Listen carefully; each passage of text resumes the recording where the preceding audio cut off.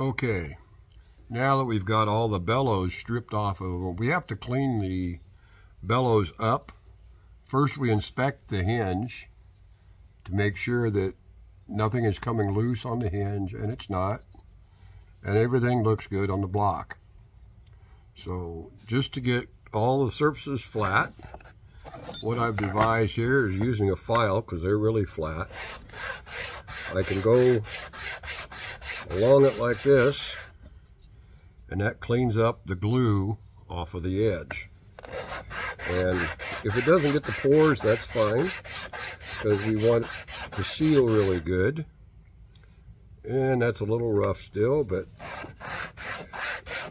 we've got to get make sure that we've got uh, some surfaces good and smooth uh, on here.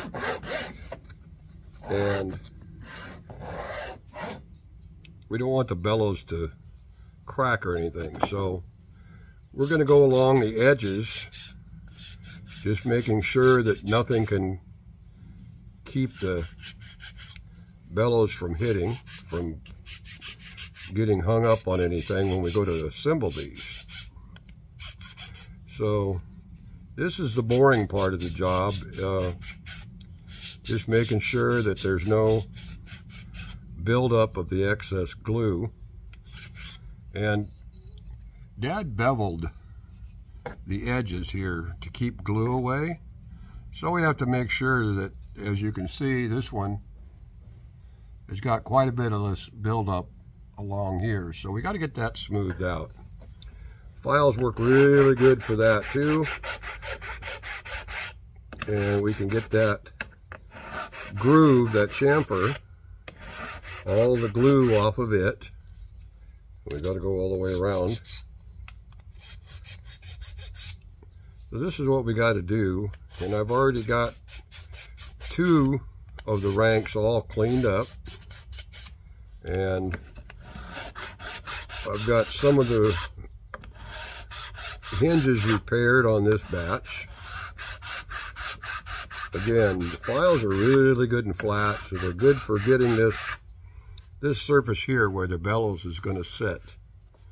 And we just got to make sure that we've got that cleaned off so that there's no leakage from the glue. Again, it's the hot hide glue. It's heat sensitive, so we're going to look in here and make sure we've got all the, oh, there's a little bit of the glue buildup. This hot hide glue is pretty easy to keep to, to re-clean, to clean up from. It comes off pretty easy. Again, when you go to put it on, we're going to see how that happens. That's liable to take a few tries. So, this is the boring part, I guess you would say, of the job because it's all clean up and anybody out there that knows when they're redoing something, clean up is the biggest chore of all, but one of the most important. Again, not sure if anybody's ever going to watch this or not, but this is the labor of love for restoring the calliope. And looks like we've got the hinges in good shape still. What we're going to do, my workbench top is pretty flat. So what we're going to do here is we're just going to sand. See if I can just change a little bit. We're going to sand on here. This is a final smoothing effort. Little 120 sandpaper. Makes the surfaces very nice and smooth.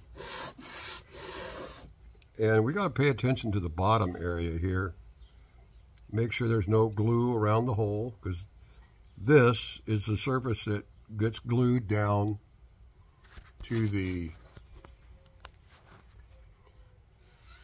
the boards that you saw me cleaning up before. So we're going to do this. Again, flatness is key, so. And now we've got it all smooth here. This is about as far as it goes, so we're good there. We do a little blow off here. We've got the small holes there that we need to mark. This is for that little spring that Dad put on them. So we're going to just mark that so we know where they are once the bellows gets.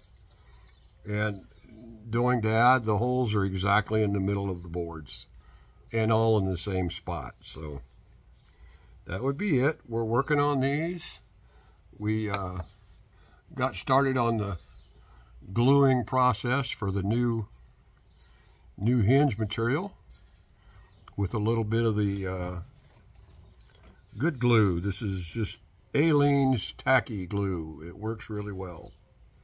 Sets up quick and we've done a few of them so I got six on this bottom 14 that's a lot but I got more to clean up and that's what we're doing okay more later